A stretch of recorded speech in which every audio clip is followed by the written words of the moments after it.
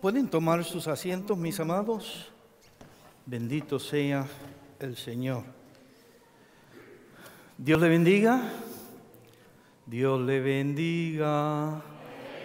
Amén. Eh, les quiero presentar uno de los jóvenes. Él está lejos de su pueblo y de su gente. Pablo. Pablo es estudiante aquí en la universidad. Eh, él es de Argentina. Este es su primer año de estudio acá. Llegaste en diciembre, ¿verdad, Pablo? Y so, eh, si lo ves por ahí, salúdalo. Bendito sea Dios. Él está por acá solo, pero ahora ustedes son su familia. Amén. Amén. Bendito sea el Señor. En este día, Madeline y yo vamos a compartir. Le damos la bienvenida también a la familia Leal. ¿Sí? Gracias por estar con nosotros y todos los que estén aquí tal vez por primera vez. Bienvenidos. Amén. Bienvenidos y bienvenidas, ¿se ven? Ah, ok, tenemos dos ayudantes hoy. Durante este mes hemos estado hablando sobre el tema del amor y la amistad. La semana pasada eh, me enfoqué más sobre la amistad y dos puntos que quise, quise, no sé si lo logré, eh, para que pensemos en ello es, ¿qué clase de amigos soy? ¿Sí? ¿Y qué, qué tipo de amigos o amigas tenemos? ¿Estamos?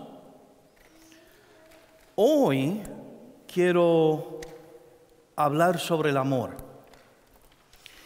Y pensando en esto, yo no soy el primero de pensar en esto, ¿verdad? Pienso en los filósofos, esas personas allá en Grecia y en Europa que se sentaban a hablar de diferentes temas. Y como decía mi papá, le daban cinco patas al gato, ¿no? Que buscaban por diferentes lugares. O se la encontraban. O le encontraban cinco patas al gato. Ya. So, esto no es un tema nuevo. Los filósofos llegaron a sus conclusiones. Entonces tenemos los científicos. Y los científicos, pues, también se metieron en este tema a través de las edades. Y ellos también llegan a sus conclusiones. Pero hoy estamos nosotros acá. Y cada persona aquí, y los que nos están viendo escuchando, han llegado a sus conclusiones. Porque cada generación tiene que llegar a su conclusión. ¿Qué es el amor?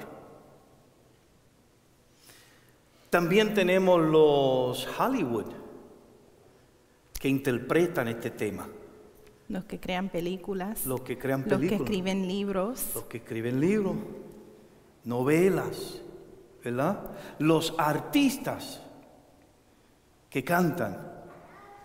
Qué muchas canciones que interpretan este tema de amor.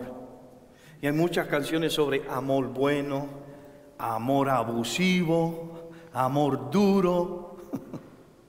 Difícil de amar. Difícil de amar. ¿Por qué tú me miraste a mí cuando dijiste eso? ¡Hey!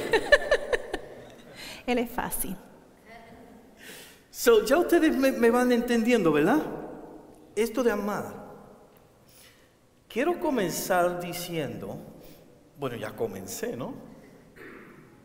Amar es ponerte en una posición vulnerable. Cuando vos decides amar, tienes que entender que puede sufrir dolor, que vas a sufrir dolor. Amar es una entrega. Amar es una entrega. Es una entrega. Madeline ya se fue profundo. So, tenemos todas estas personas que dicen mucho, que interpretan, que definen. Pero entonces hoy yo quiero que nosotros le demos oportunidad a Dios. Que Dios, el autor del amor, si alguien ha sufrido por amar, es Dios. ¿Está conmigo? Ahora, ahorita la hermana Madeline va a leer los versos. Nosotros amamos y esperamos que seamos amados. Sodamos y esperamos recibir.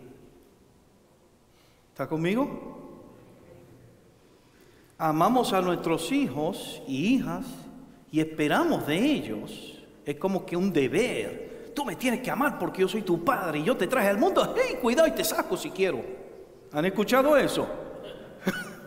claro, que los, claro que lo hemos escuchado. Esperamos un respeto. Esperamos, sí. Sí, esperamos un respeto de ellos, que hagan lo que nosotros les pedimos. Eso es así. Ahora, pero imagínate amar y tú sabes que no te van a amar para atrás. Esa es la postura de Dios. Él ama sabiendo que la persona que él ama nunca lo va a amar para atrás. ¿Has pensado en eso? Bueno, quiero que pienses en eso. Ese que ama de esa manera es el que nos deja escrito esto. Él define amor. Primera de Corintios, capítulo 13, de los versos 4 al 8. Así dice la palabra del Señor. El amor es paciente, es bondadoso. El amor no es envidioso, ni jactancioso, ni orgulloso. No se comporta con rudeza, no es egoísta, no se enoja fácilmente, no guarda rincor. El amor no se deleita en la maldad, sino que se regocija con la verdad todo lo disculpa, todo lo cree, todo lo espera, todo lo soporta.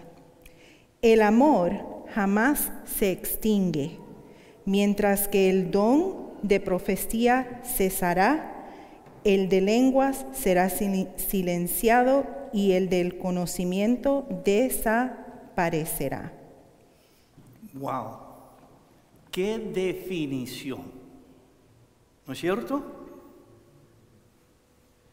Esta definición es heavy. Yo no conozco ese tipo de amor, yo nunca lo he ejercitado. So, el primer desafío, y yo sé que esto no debe ser, ¿verdad? El pastor está diciendo esto, pero es tan humano como usted. Yo he pensado en este tipo de amor y yo he pensado, yo llego a la conclusión siguiente, el día que yo aprenda a amar así, nunca más voy a juzgar. Nunca más voy a tener preferencia. Nunca más voy a pasar una palabra de condena a una persona. Nunca más. Pero mientras voy a lo que yo espero, que voy a llegar algún día, Dios me va a liberar de todo esto, lo que soy, vamos a analizar el verso. ¿Ya? Lo primero que me llama a mí la atención, Madrid, y ustedes, es que el verso 4 nos define lo que el amor es. Inicia diciéndonos lo que es. Y lo que no es. Ahorita vamos a entrar en eso, pero empieza con lo que es. lo primero que nos dice es sufrido. ¿No, no te- no es interesante, no te parece interesante o curioso que definiendo el amor, la primera palabra que nos presenta es que es sufrido? Yo pensaría que, que- el hecho de amar es estar en un, no sé, en un éxtasis, en un nirvana. Eh, llegué al cielo, mucho amor y amor, y estoy lleno de amor, y doy amor y recibo amor. Pero Dios dice que el amor es sufrido. ¿Qué tú crees de eso? Y en la mía dice, en mi traducción dice que es paciente. ¿Por qué el traductor Usa las dos. las dos palabras en, en dos diferentes versiones?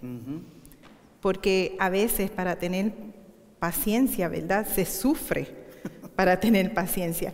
Y, y yo he pensado que los que podemos entender un poco de este amor de Dios sobre nosotros somos los padres, ¿verdad? Y las mamás. ¿Cuántas mamás hay que tienen hijos adultos? Levanten sus manos.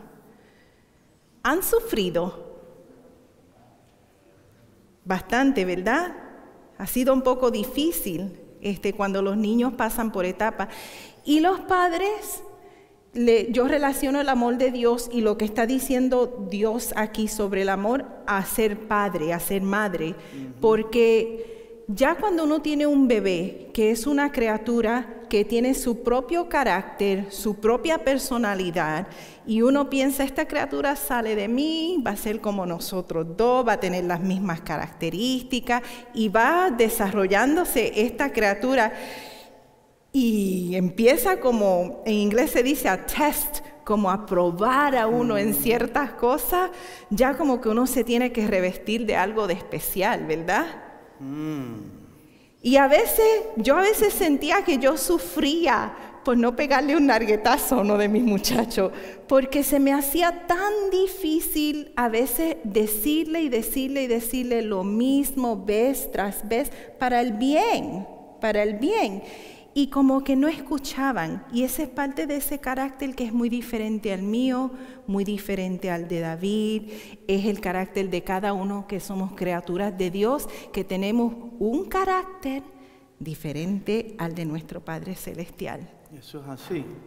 Y, pa- y- y- y para amar ese carácter que está dentro de esa persona que le llamamos humano, hay que tener qué? Paciencia. Dígalo conmigo. Paciencia. So, si, si vamos a amar, nos tenemos que revestir de paciencia porque vamos a sufrir. ¿Ok? Pasamos y dice, el sufrido es benigno, el amor ahora nos entra en lo que no es. Primero nos dice lo que es y ahora empieza a definir y decir, no es esto. So vamos a mirar este asunto. El amor no tiene envidia. Wow. Debemos definir la palabra envidia. ¿Ya? ¿Tú crees que queremos hacer eso? Hazlo, mi amor. Envidia. Oiga esto. ¿Qué es envidia? Envidia es desear lo que otra persona tiene, ¿verdad? ¿Eso es así? Para nosotros mismos. La palabra también envidia implica no solamente desear lo que la otra persona quiere, sino que ese deseo llega a un punto que empieza a dominar tus pensamientos y tus emociones. Es un control que como que viene a apoderarse de ti, de vos. La Biblia nos está diciendo a nosotros que el amor no es eso. ¿Qué más? Ni jactancioso. Ni jactancioso. Ah, yo soy el mejor cantante aquí. Ay, si usted me escucha cantar hasta Los Ángeles, ay, se babean. Entendemos jactancioso, ¿no? So, el amor no es envidia, el amor no es jactancioso. Los boricuas decimos que no se las echa. ¿Han escuchado eso? ¿Sí? Eh, ¿Lo dicen ustedes también? Que no se las echa. Así Sería el, el idioma de nosotros hoy día. Que no se las echa. Sí. Oye, ¿y ¿cómo uno ama a alguien así que siempre se la está echando? Con mucha paciencia. Ahí está. Ahí está, con mucha paciencia. Mi gente, esto de la iglesia es algo curioso, ¿eh? Lo, lo hemos pensado, lo hemos platicado, ¿verdad? Esto de, de iglesia, de comunidad. Es aquí en comunidad que nosotros en verdad aprendemos a amar. Porque ahorita hablamos de amar hijo, amar papá, amar mamá, etcétera, etcétera, que, que son nuestra gente, que tienen nuestra sangre, nosotros tenemos su sangre, qué sé yo.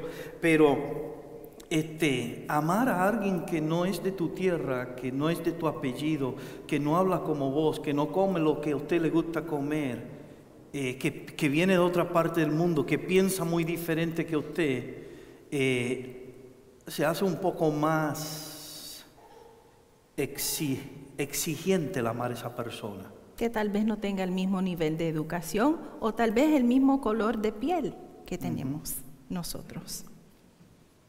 So, por eso que yo creo que una de las razones por la cual le gusta este asunto de iglesia es porque la iglesia se supone que se compone de una comunidad grande y muy variada. Y es ahí a donde tenemos la oportunidad de ejercer estas características. ¿Está conmigo? La, la la intención de Dios, amados, es amar. Él, él hizo la creación, ¿verdad? Y nos hizo, mira alrededor, somos iguales, somos todos del mismo color, tenemos el mismo acento, aunque hablamos español, hablamos diferente, ¿verdad? So, esto de comunidad es algo bien interesante en la mente de Dios, porque Dios trae a personas de diferentes lugares y nos ama, ¿verdad? Porque somos su creación y nos une a nosotros, mirar su alrededor, para que nosotros nos amemos los unos a los otros y practiquemos ciertas cosas. Eso es así. Oye, esto, voy a decir algo, va a caer pesado al principio, pero Hmm. Dios ama a Trump. Y a mí se me hace difícil. Dios ama a Maduro. No, dice. Oh, es una excepción. somebody said that, that God doesn't Oh, love Maduro. funny. That's the only exception. sí, sí. Ve- ¿Verdad que, Es su que, creación. que pensar en eso uno dice, wow, no puede ser? No, ese no. Ese, ese- ese sí que se pasó de la raya. ¿No es cierto? Y, y- y por eso es que yo digo que este amor de Dios, yo no lo conozco todavía. En otras palabras, no es que no lo conozco personalmente, pero vivir y amar de esa manera, para mí, es algo demasiado de alto, casi inalcanzable. Pero es a eso a donde Dios llama al que lo sigue. Es a eso, que es un gran desafío, ¿no? ¿No te parece?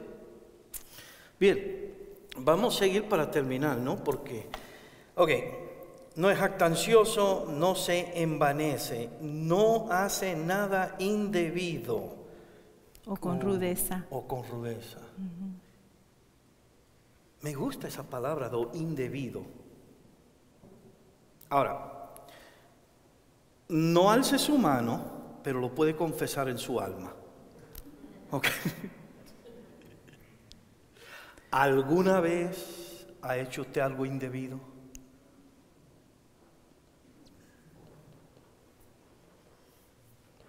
Yo a ti no te hago nada indebido, ¿verdad, mamá? No confiese, no levante la mano.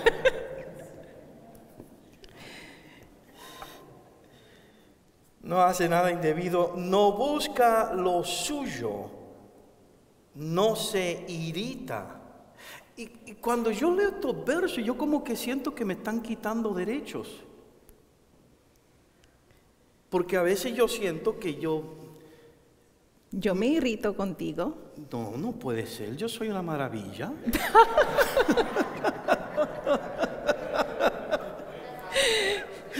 ¿Con, con quién tú O tú, vives? o tú, o tú me, ¿Con, con quién tú vives? o tú me irritas a mí. Bueno, no. Yo sé que cuando estaba embarazada esta mujer con el primer bebé, mira mi gente, yo no hacía nada, yo venía en mi van y voy entrando, mm, manejando, llegando del, y ya esta está mm, brava conmigo. Y entonces tú sabes lo que yo hacía, Eh, lo confieso, para irritarla. ¿Vieron? Había la ancianita, ¿te recuerdas la ancianita que vivía al lado? Todavía me acuerdo del nombre No me de ella. recuerdo el nombre de ella, pero era muy amable. Y, y ella se sentaba ahí en su balcón y cuando yo entraba en mi mi auto, ella decía, ¡Gaby! y yo iba para allá a hablar con ella y Marlene se quedaba mirándome y se molestaba hasta más. Pero ya Dios me perdonó por todo eso, ¿eh? Y yo también. Ok, vale. Era, era la mala barriga. Nosotros decimos mala barriga cuando las hormonas se, se descontrolan. Así estaba yo. Mira esta, no guarda rencor.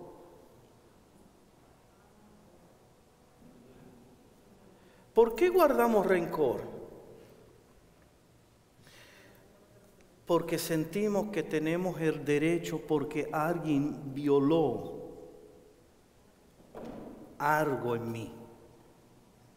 Y cuando alguien me ofende o, viola mi persona o, o algo que, que- que me identifica, si no tengo cuidado, yo me siento que yo tengo el derecho, y no solamente el derecho, tengo el deber de aguardar eso en mi ser contra la persona. Pero cuando hacemos eso, Nos hacemos daño a nosotros mismos porque no hemos perdonado. Ya. El que quiere vivir así sufre mucho. Sufre mucho. Y no solamente sufre, sino que le has dado poder a alguien vivir dentro de ti. El amor de Dios te permite abrir las ventanas de tu alma y dejar eso libre. ¿Está conmigo? ¿No es cierto, madre? Amén. Cuando uno ama, uno busca las, maneras de poder perdonar a esa persona y no guardar cosas feas en nuestro corazón. Y esto, pues, lo podemos decir como pareja, ¿verdad? ¿Cuántos, cuántos de nosotros en pareja hemos podemos decir que nuestro cónyuge no ha hecho algo que nos ha herido? Algunos de nosotros pues nos han herido más que a otros, ¿verdad? Pero, pero sí, para, para poder seguir en una relación sana, tenemos que saber cómo dejar eso ir y hablarlo. Mi hija trabaja en esto de resolución de conflictos y ella dice que cuando hay un conflicto o un problema entre personas se tiene que hablar, porque las dos personas tienen que dejar, tienen que sacar lo que sienten dentro de, de ellos para poder sanar y mover y seguir hacia adelante, junto o no junto, pero tiene que salir. Eso tiene que salir, amén. No guarda rencor, no se goza de la injusticia, mas se goza de la verdad. Todo lo sufre, todo lo cree, todo lo espera, todo lo soporta. So aquí yo veo, mi gente, ingredientes. Madeline es la que prepara los alimentos en casa porque yo estoy muy limitado. Los otros días me hizo desayuno, quedó rico. Ah, estamos talking about. Eso, ¿viste? So, Eh, pero yo la observo a ella cuando ella está preparando y, tiene muchos ingredientes, ¿no? El, el preparar una comida rica, son muchos los ingredientes que uno está poniendo ahí, ¿verdad? Este, así yo veo esto. Dios nos ha dado a nosotros ingredientes para darle sabor a la vida. Mi gente, ya usted está vivo, está viva. Usted no sabe cuántos años va a vivir sobre esta tierra, pero vívalo bien. Y para vivirlo bien, usted necesita amar.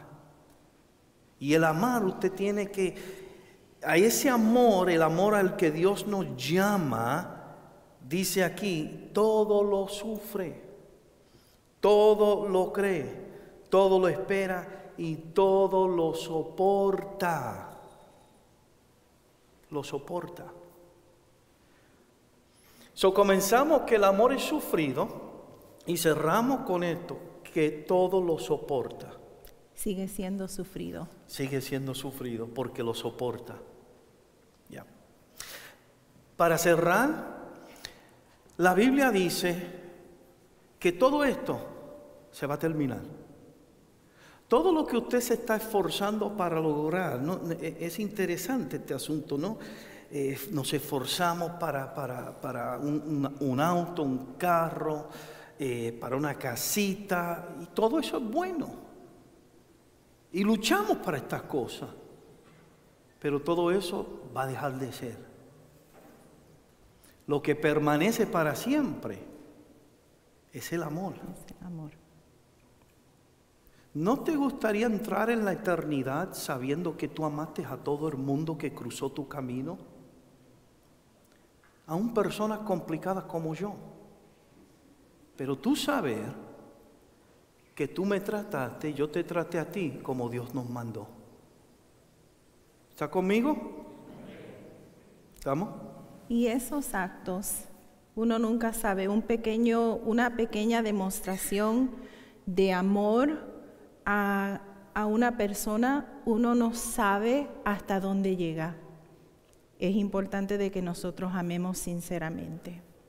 A nuestros cónyuges, a los hijos se aman, ¿verdad? Yo siempre le he dicho cuando aconsejaba a los padres en la iglesia donde éramos pastores que estaban pasando por situaciones bien difíciles con algunos de sus hijos, yo les decía, ten paciencia, sigue orando y no pienses que el amor se va, porque el amor de padre continuará, el amor de madre. Y es verdad, nuestro hijo puede ser alguien que mate a alguien y dejamos de amarlo, nunca. Sigue siendo nuestro hijo, lo seguimos, amando, ¿verdad? No, no, importa lo que haga, seguimos amando. Dios nos ama igualmente a nosotros, de la misma manera, con mucha paciencia, un amor sufrido, un amor que no, no se jacta, ¿verdad? Sino que lo, lo da gratuitamente hacia cada uno de nosotros. Amén. Dios te bendiga. Señor los bendiga.